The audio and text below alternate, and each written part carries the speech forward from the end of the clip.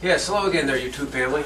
Uh, the next demo, I was going to do a, uh CO2 demo for the SodaStream. But uh, I wanted to share with you uh, a hangover remedy that sometimes us chefs and meat cutters, we have a tendency to uh, overindulge uh, because we cook with the stuff quite a bit. So uh, it's a very good sherry here. But uh, So let me get my ice, hold on.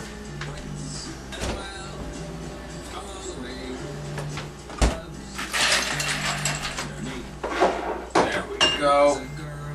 Now what we do,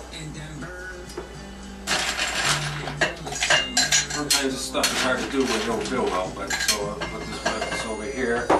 Now, what we'll do is we'll grab an Alka-Seltzer. Okay? Depending how I feel, you might want two Alka-Seltzers. So, so we'll grab the Alka-Seltzer here for this demonstration here.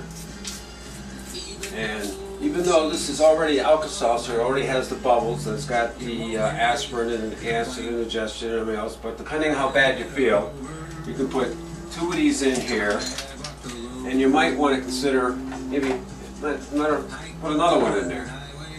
Okay, and then we'll hit it with the lemon, a little lemon juice.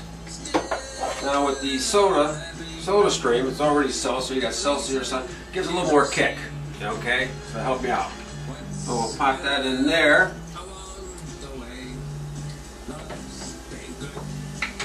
With that, now we got the Alka-Seltzer in there with the SodaStream seltzer. Let that work a little bit. And also, you can take that with some vitamins. And also have here a little Advil this is not strong enough, this is what I've done. I don't recommend going out the door and doing this. This is what I've done to help, my, help me out.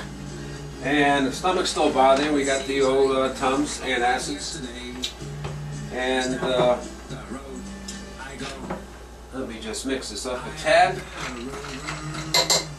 There we go. This is the Alka-Seltzer and a little soda stream in there. Wow.